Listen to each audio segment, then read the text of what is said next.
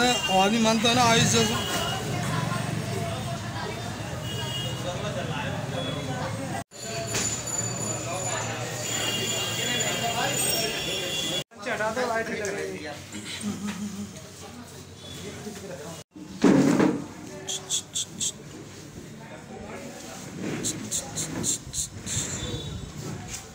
Sir खुलासा किया है क्या कुछ खुलासा है? थाना पटियाली की टीम है, और निरीक्षक मनोज कुमार अवैध शस्त्र फैक्ट्री को भंडाफोड़ किया गया। इसमें तेरह तमंचे प्राप्त हुए। इसमें आठ बने हैं और पाँच अधूरे तमंचे हैं।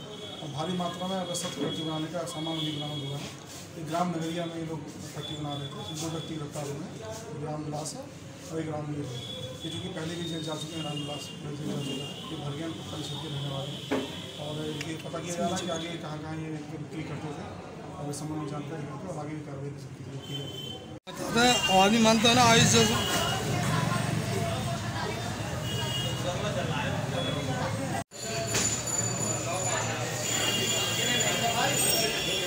चढ़ा दो लाइट लग